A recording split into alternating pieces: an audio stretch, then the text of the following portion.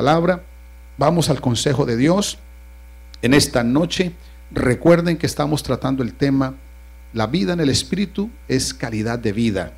Amén. Y eso es lo importante, que Dios nos enseñe cómo tener una vida de calidad. Y eso, eh, esta noche, el Señor va a hablar a través de Primera de Tesalonicenses, capítulo 5, el verso número 23. Ahí está, el verso 23, solo un verso. Vamos a leer este verso y de allí Dios nos va a hablar de cómo tener una vida de calidad. Amén. Dice ahí la palabra del Señor. Todos leemos el verso 23, por favor. Dice, y el mismo Dios de paz os santifique por completo y todo vuestro ser, espíritu, alma y cuerpo sea guardado irreprensible para la venida de nuestro Señor Jesucristo. Gloria a Dios. Señor Jesús, Padre Santo, en esta hora te damos gracias porque llegó el momento solemne de tu palabra, Señor. Ayúdanos. Mira, Padre Santo, que necesitamos esta noche de ti, de tu consejo. Y antes de que sean las nueve, Padre, queremos oír tu voz. Sí, Señor. Ayúdame, Padre, poniendo las palabras y los pensamientos precisos sobre lo que tú quieres ministrar esta noche a tu pueblo. En el nombre de Jesucristo de Nazaret. Gracias, Señor. Amén y amén. Gloria a Dios. Siéntese, por favor. Amén. Bendito sea el nombre del Señor. El, el hombre tiene que saber cuáles son las cosas importantes que tiene para su vida y en el orden. Este versículo nos ubica. Nos ubica porque nosotros somos seres integrales. Somos seres que tenemos una composición tripartita. Somos espíritu, alma y cuerpo. Por eso dice ahí, y todo vuestro ser, el ser humano, tiene una configuración tripartita. Pero miren el orden. Orden, el orden es espíritu, número uno, dos, alma y tercero, el cuerpo. Lo que pasa es que el mundo y el mundo y afuera le han dado la vuelta al orden que tienen las escrituras. Porque para el mundo lo más importante es el cuerpo, luego el alma y hay muchos que no saben que tienen espíritu. Pero el orden lo da Dios y lo da Dios con una razón, con un sentido. Por eso es importante que mirando entonces eh, la manera como el ser humano está integrado, entonces también debe conocer cómo administra el espíritu, cómo administra el alma y cómo administra el cuerpo en su orden, así como el Señor nos lo ha determinado. Pero nosotros ahora entendemos como cristianos de que nuestra naturaleza ha cambiado, de que nuestra naturaleza antes era completamente gobernada o, administrada por lo carnal, por lo humano, por lo natural, pero ya hemos cambiado. Ya nuestra naturaleza no es la misma. ¿Por qué? Porque nosotros hemos sido ahora hechos por Dios algo nuevo, algo mejor, algo poderoso. Y eso lo explica justamente Primera de Corintios, capítulo número 15. Dice el verso número 44 de Corintios, de 1 Corintios 15 dice, se siembra cuerpo animal, eso fue lo que fuimos sembrados en un, en un, principio. La semilla que teníamos en nosotros era una semilla animal, natural, humana, pecaminosa. ¿Y qué pasó? Dice, se siembra cuerpo animal, resucitará cuerpo espiritual. Hay cuerpo animal y hay cuerpo espiritual. Así que aquí nos estamos dando cuenta de que ya Dios nos está colocando en, un, en una posición, en una posición, en un orden para que nosotros establezcamos una, forma de vida. Y dice aquí, así también está escrito, fue hecho el primer hombre Adán, alma viviente, el postren Adán, espíritu vivificante. Adán fue un alma viviente, alma, pero Jesús, espíritu vivificante. Un espíritu que da vida, que vivifica. Amén. Y dice, y dice aquí entonces, uh, Así también está escrito, fue hecho el primer hombre Adán, alma viviente, el postrer Adán, espíritu vivificante. Mas lo espiritual no es primero, sino lo animal, luego lo espiritual. El primer hombre es el de la tierra, terrenal. El segundo hombre, que es el Señor, es del cielo. ¿Cuál el terrenal? Tales también los terrenales. ¿Cuál el celestial? También los celestiales. Así, mire la conclusión que saca aquí el, el, apóstol Pablo. Verso 49. Y así como hemos traído la imagen del terrenal, traeremos también la imagen del celestial. Eso fue lo que ocurrió en nosotros. Antes nosotros éramos gobernados por lo humano, por lo carnal y por lo animal, pero ahora nosotros tenemos otra naturaleza, la naturaleza del espíritu vivificante que es nuestro Señor Jesucristo. Entonces, hermano, es muy importante que siendo seres integrales, espíritu, alma y cuerpo, ahora, para, los hermanos que están aquí y no saben cuál es la diferencia o no saben qué es el espíritu en el ser humano, qué es el alma y qué es el, bueno, el cuerpo, si todos lo sabemos. El cuerpo es el estuche donde está el alma. Pero ¿qué son el alma? El alma son los pensamientos, son los, eh, ah, eh, los, las emociones, los sentimientos y la voluntad. Los pensamientos, las emociones, los sentimientos y la voluntad. Ahí donde están sentados los pensamientos, donde están sentadas las emociones, los sentimientos y la voluntad. ¿Qué es el espíritu? El espíritu es la parte interior del hombre, invisible, que se comunica con Dios. Es decir, es la línea con Dios, es la parte de Dios en nosotros, porque nosotros tenemos parte de Dios. Nosotros somos criaturas hechas por Dios. Si nosotros tenemos algo de Dios en nosotros y es el Espíritu. Recuerden que la naturaleza de Dios es, Él es Espíritu. Algo que no se ve, algo que no se puede tocar, algo intangible, pero que existe en nosotros. Y cuando, ¿y cómo usted activa el Espíritu? Cuando Jesús entra en tu vida. Cuando Jesús entra en tu vida, entonces viene la vida en el Espíritu, porque lo más importante aquí es el Espíritu. El Espíritu está con el alma conectado.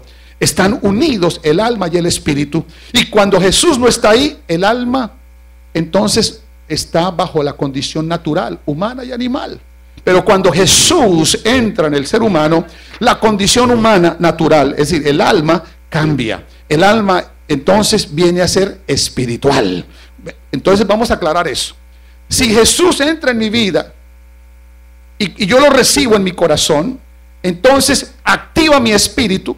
Mientras Jesús no esté, mi espíritu está apagado, está muerto. Por eso Efesios 2 dice, verso 1, más Él os dio vida a vosotros cuando estabais muertos en vuestros delitos y pecados. Por eso Jesús dijo, yo soy la vida. El que me recibe activa su espíritu para que tenga vida en su espíritu. Entonces, Él nos dio vida cuando estábamos muertos en delitos y pecados, en los cuales anduvimos en otro tiempo siguiendo la corriente de este siglo conforme al príncipe de la potestad del aire.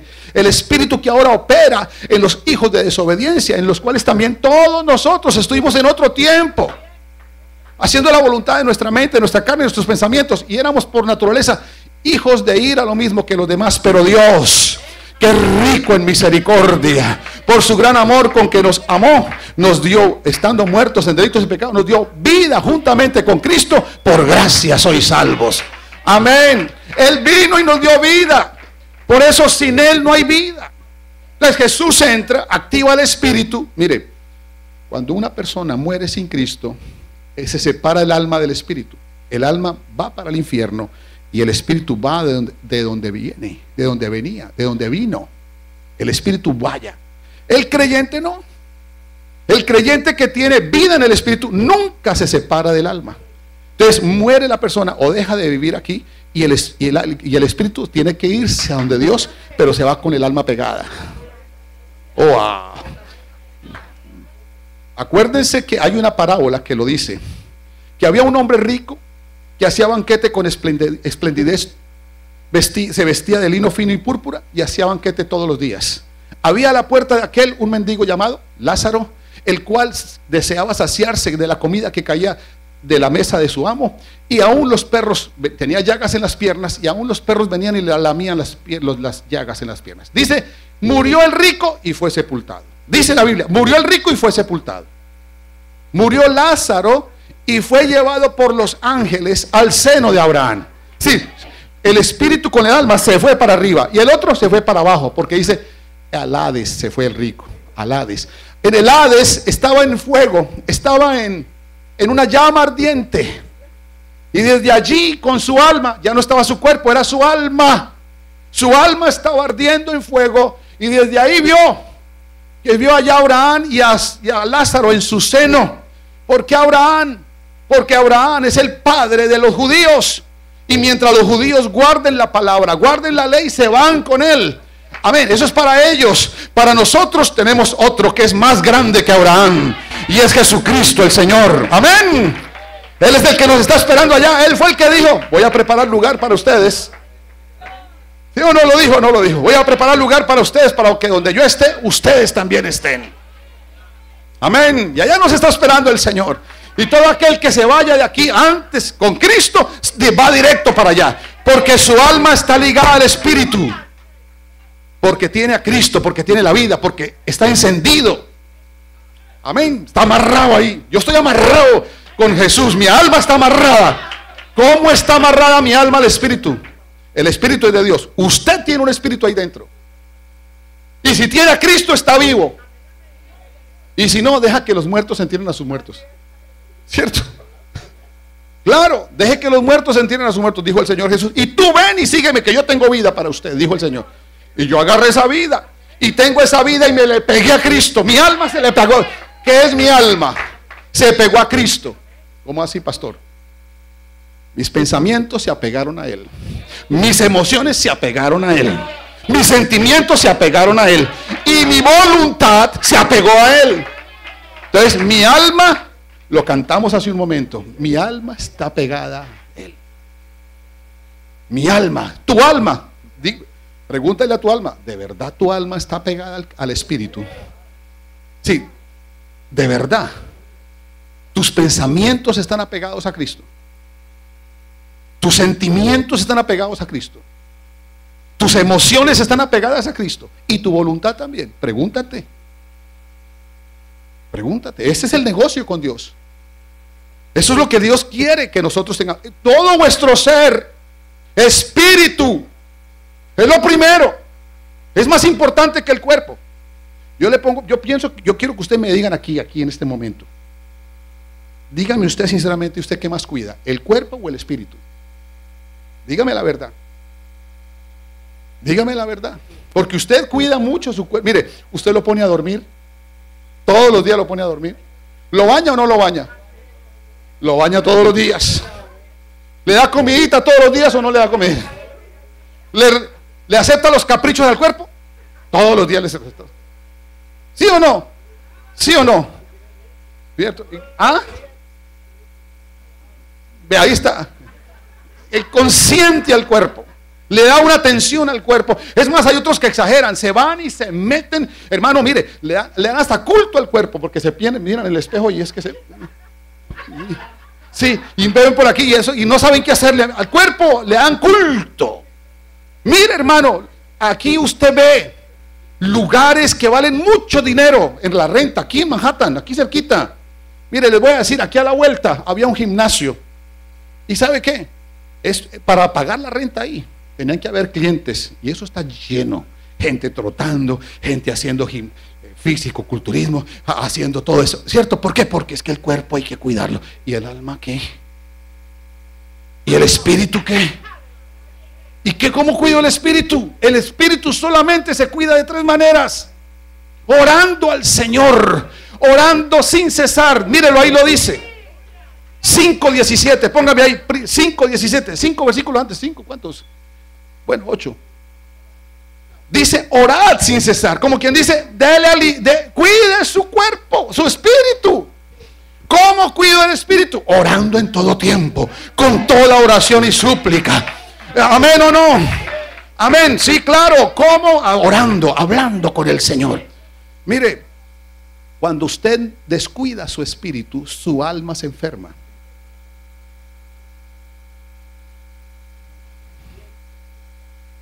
Su alma se debilita porque no sabe qué hacer. Porque o la administra el mundo o la administra Dios. Estoy hablando de su alma ahora. Su alma, sus pensamientos, sus emociones, sus sentimientos y su voluntad. ¿Quieren calidad de vida? Miremos el orden de Dios. ¿Queremos una vida de calidad? Miremos el orden de Dios. ¿Qué quiere Dios? Que cuidemos el templo del Espíritu Santo. ¿Qué es el cuerpo?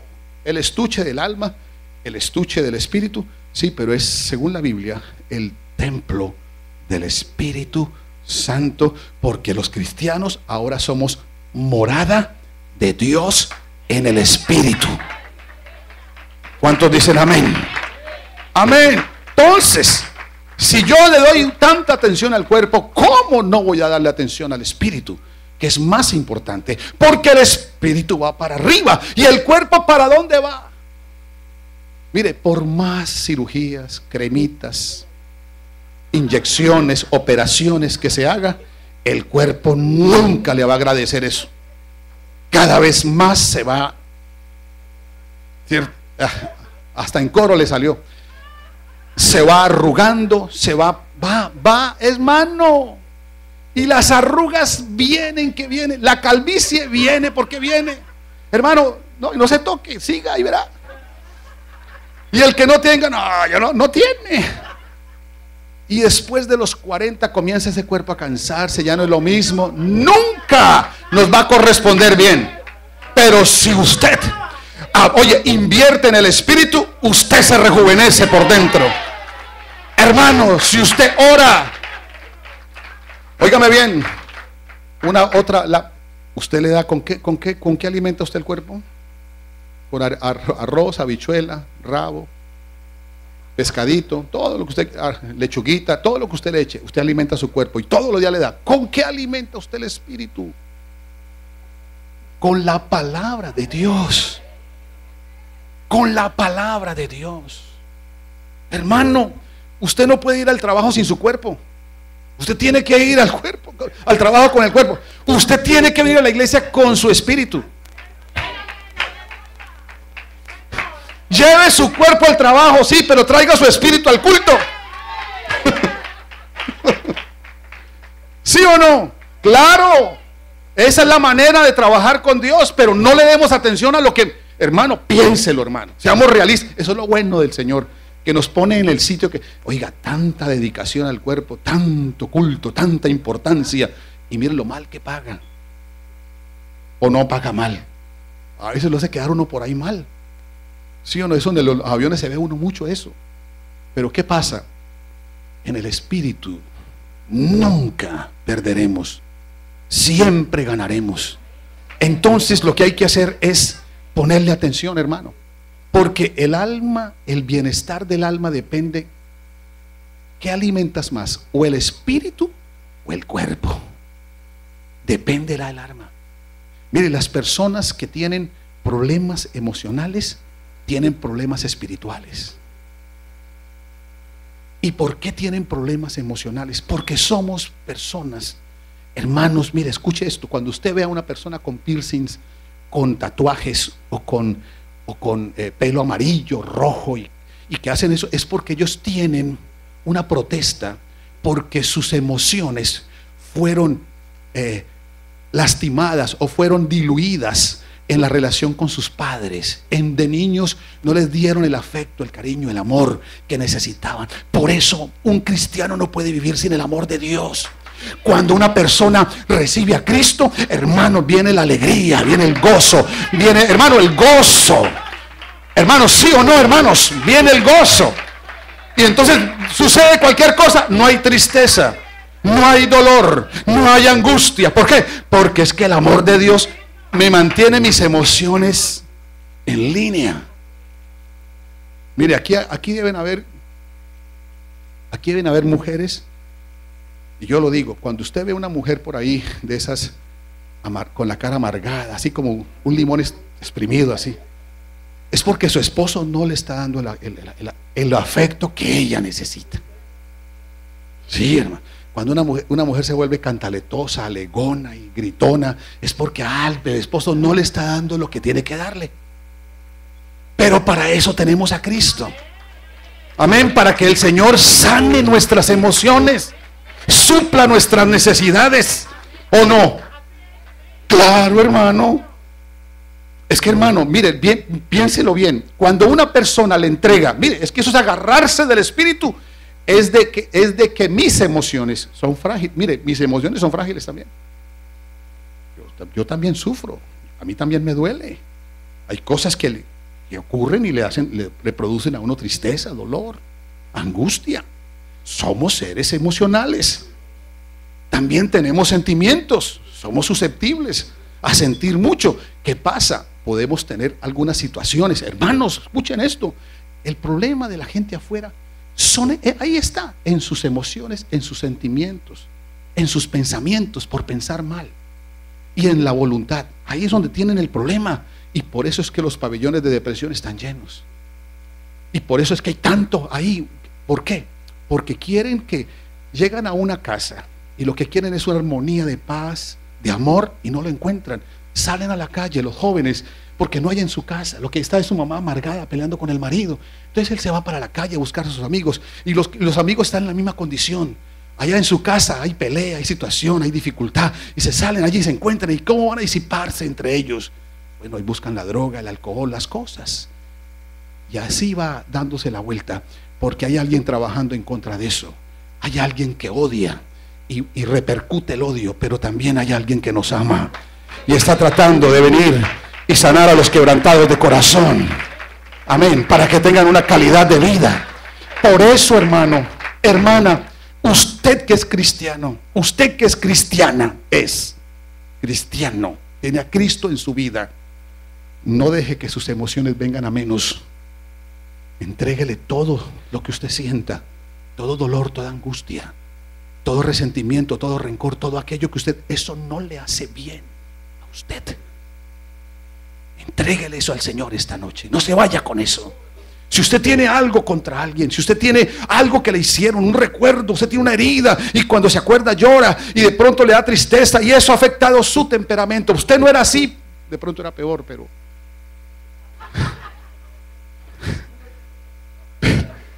Pero, pero, pero, cierto, yo conozco aquí, aquí hay hermanas, no, y el hermano, el hermano Álvaro Torres nos lo decía no lo decía.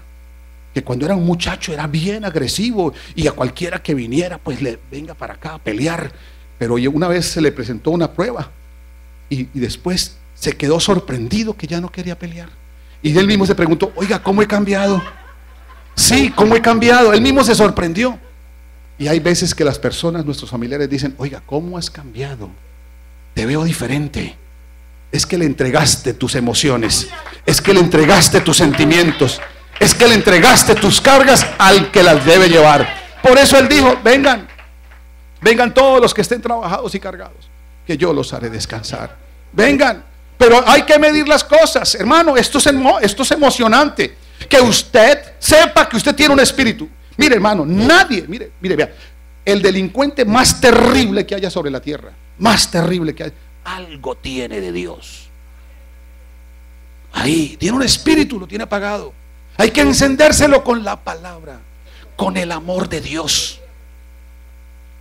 La gente no necesita una predicación uh, una exhaustiva o con mucha hermenéutica. Ellos necesitan es una palabra de amor. Una palabra de amor. ¿Y, que hay que, y qué es lo que dicen siempre los cristianos? Yo veo al hermano que ¿Dónde está? Allá está el hermano. Está los, ahora en los cultos afuera entregando tratados. ¿Sabe qué es lo que dice el hermano a, la gente que pasa? Cristo te ama. Cristo te ama.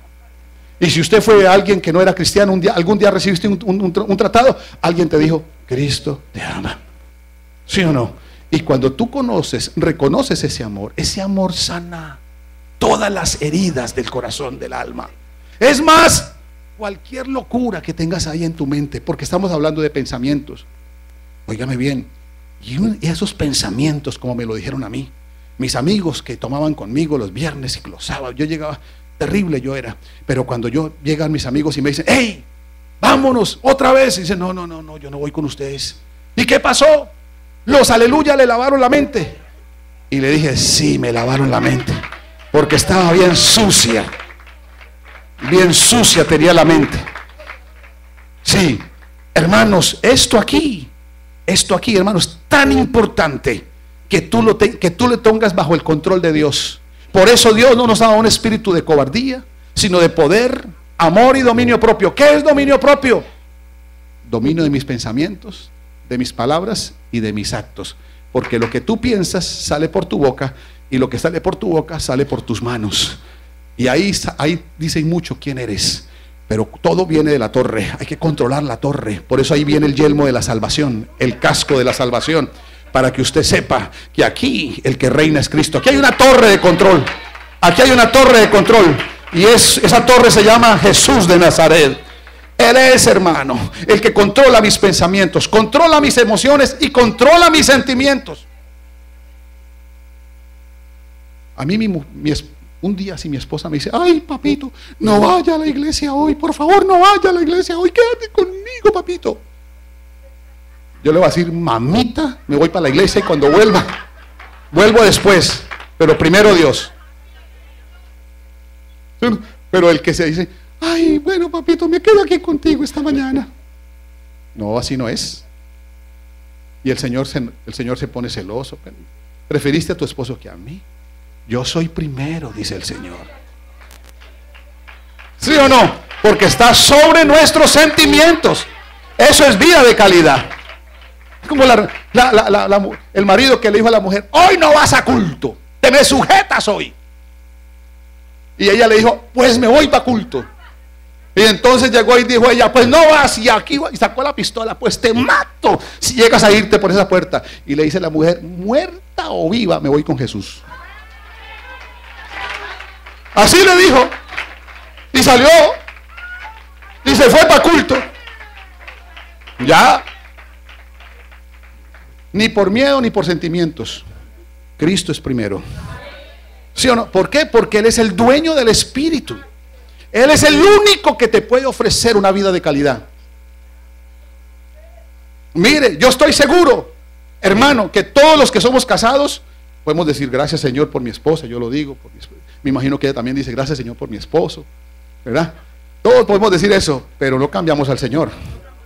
Como Él nos ha tratado, como Él ha sido, ¿cierto? Es más, hay mujeres aquí que están solas, solas, y dicen, no, ya con Cristo estoy completa. ¿Para qué me amargo la vida con un, con un que, ni siquiera conozco? no me va a tratar como Cristo. ¿Cierto? Porque han definido sus sentimientos primero en el Señor. Eso es calidad de vida. Eso es colocar las cosas en su orden. Eso es darle prioridad al espíritu antes que al alma y al cuerpo. Hermano, y así estamos arreglados. Mire, cuando usted le entrega por completo su vida a Cristo, eh, sus pensamientos están cabales, sus decisiones. Hermano, usted está tomando buenas decisiones. Usted está tranquilo. Es más, usted le deja eso al Señor y usted está con la vida tranquila. Lo único que tenemos que hacer es ¿Qué es lo que tenemos que hacer? Dedicarnos a Él. Deleítate a sí mismo en el Señor y Él te concederá las peticiones de tu corazón. Encomienda al Señor tu camino y confía en Él y Él hará. ¿Sí o no, hermanos? Eso es calidad de vida. Por eso, hermano, no dependemos del hombre. No dependemos, porque el espíritu no depende sino de Dios. Mire, eso que está de, mire, el cuerpo depende del, del aire, depende de la comida y del agua. El alma depende de qué? De los sentimientos, de los pensamientos, de las emociones y de la voluntad. Pero el espíritu, ¿de qué depende? Depende de Dios. Mi espíritu depende de Dios.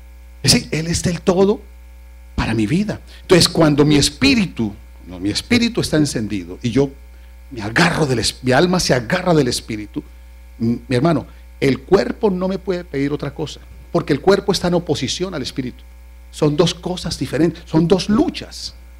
Por eso hay tanto creyente que lucha, que lucha y que lucha, y aquí y acá, y no quiere esto y no quiere lo otro. Está luchando, pero porque no ha entregado. No se ha entregado completamente. No le ha entregado sus sentimientos, no le ha entregado sus emociones, no se ha rendido delante del Señor, no lo ha puesto como primer lugar. El Espíritu es primero. Aquí está. Y todo vuestro ser, ¿qué está primero? Espíritu. Miren el orden. El orden de la, de la Biblia es importantísimo que lo miremos, porque de eso depende. Sobre toda cosa guardada, guarda tu corazón porque de él mana la vida. Lo más importante de tuyo es el corazón porque de ahí mana todo.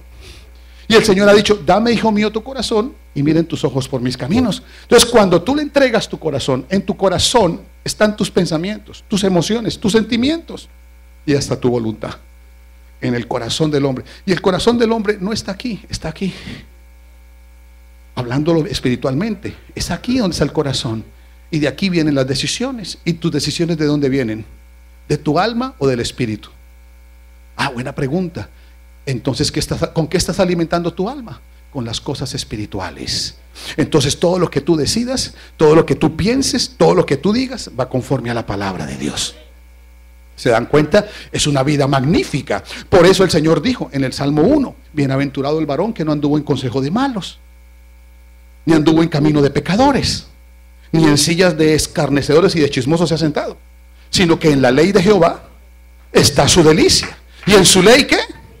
Medita de día y de noche. Será como árbol plantado junto a corrientes de aguas, que da su fruto a su tiempo, su hoja no cae y todo lo que hace prosperará prosperará. Porque le está dando la posición al Espíritu. Termino. Escuchen esto. Un hermano me dijo, pastor, ¿qué hago? Mire que yo le hablo a, las, a mis amigos. Y cuando yo le hablo a mis amigos, ellos me ponen atención. Y hasta en ese momento quieren ir conmigo a la iglesia pero me dicen, me prometen que van a venir y no vienen. ¿Qué es lo que pasa, pastor? Porque a, los, a mis amigos que les hablo, en el momento me aceptan mi mensaje. Yo los convenzo, o la palabra de Dios los convence, y en ese momento, es más, si pudiera haber culto en ese momento, los llevaba para allá. Pero hermano, no vienen porque como que se me enfrían, pastor. Eso me dijo él. ¿Qué, ¿Por qué me pasa eso? ¿Por qué me, ocurre eso? Le, le voy a decir, vea. El hombre tiene una sed adentro de satisfacer el alma, que solamente lo puede satisfacer Dios. Y como tú tienes esa agua, ese, esa palabra espiritual, se la das, le das un traguito. Y ese traguito les gusta tanto que dice, uy, me gustó, me supo bueno. ¿Verdad? Y en ese momento quieren ir, pero viene el tropiezo. Viene el tropiezo, viene Satanás, viene el cuerpo, la humanidad y lo detiene cristianos, nosotros fuimos creados para vivir en el Espíritu. ¿Usted sabe lo que le pasa a un pececito cuando se sale del agua? ¿Qué pasa? Comienza a luchar porque no puede vivir sino en el agua. Es decir, su condición es esa, vivir en agua. Nosotros fuimos creados para vivir en el río del Espíritu. Si te sales, te mueres. Ya te moriste. Por eso es que cuando los creyentes se van de la iglesia, vuelven como el hijo pródigo. Todo así. Todos así. ¿eh? Así sonrías, pero vienes así, todo flacuchento, mm, y con una cara de monstruo. Ni te vayas. ¿Y qué pasa? Y ahí que venimos a darle otra vez. ¿Otra vez qué? vida, el Señor viene y le vuelve a atravesar. Venga, traigan un vestido nuevo, hagamos fiesta, démosle comida a este que viene bien flaco, venga, venga, venga. Y ya hay fiesta en los cielos cuando un pecador se arrepiente. Mire hermano, usted ya no tiene cabida en el mundo. Usted ya, mire hermano, le aseguro que aquí hay gente que era feliz tomando, fumando, jangueando, pero en este momento ya no son felices allá. Yo, hermano, mire, vea, se lo aseguro, hermano. Vea, yo, yo, yo tomé de todo, fumé, yo hice todo, hermano. Pero yo no, yo nada de eso quiero. No, no, ni un poquitico. Ni un poquitico. No, de verdad, hermano. Yo no sé qué le buscan a la juca esa. ¿Qué, le, qué tiene esa? Eso, nada, tiene nada, hermano. Puro engaño de Satanás. Lo bueno está aquí con Cristo. La vida en Cristo, la vida en el Espíritu, la presencia de Dios. Porque en la presencia de Dios hay que, hay que, dígalo iglesia, ustedes lo saben, hay plenitud de gozo y delicias a su diestra para siempre. Y eso lo dice la Biblia. Eso lo dice la Biblia y es la verdad. En la presencia del Señor, en la vida en el Espíritu, hay plenitud de gozo y delicias a su diestra para siempre. Por eso cuando uno se va para una fiesta esa se siente uno incómodo. Se siente uno raro y, te vienen a mirar raro. ¿Y usted, usted no toma? ¿Y usted no fuma? ¿Y usted no baila? Ya. Así es, así es. A cambio viene para acá y esta es mi fiesta. Aquí es donde yo me siento bien. Aquí es donde yo me gozo. Aquí es donde está la presencia. Aquí es donde yo me gozo en la presencia. ¿Sí o no, hermanos? Póngase de pie, vamos a alabar al Señor. Hermano, mire, esto es calidad de vida. ¿Cuántos entraron por esas puertas así, como tristes, como... y mire cómo se van, mire cómo el Señor nos lleva. Eso es calidad de vida en el Espíritu. Gloria al Señor. Levante las manos, hermano, en esta hora. Y dele gracias al Señor. Señor, te damos gracias. Oh Padre Santo, tu palabra, Señor. Padre, esta vida que tú nos das, tú tenías la razón Padre, tú has venido para que tengamos vida y vida en abundancia, en tu presencia, en el río del Espíritu, Señor. Nos metemos, nos sumergimos en esta hora. Señor, así como le dijiste a aquel hombre llamado Naamán, Señor, le dijiste, métete siete veces en ese río. Él lo menospreció. Él dijo que había mejores ríos en Siria, pero él se metió, Señor. Y de ahí salió nuevecito, de ahí salió cambiadito. Padre, así hemos salido nosotros, porque hemos navegado en el río del Espíritu. Bendito sea tu nombre, Señor. Oh, gracias, Padre Santo. Gracias, dele gracias al Señor. Su palabra, su poder, su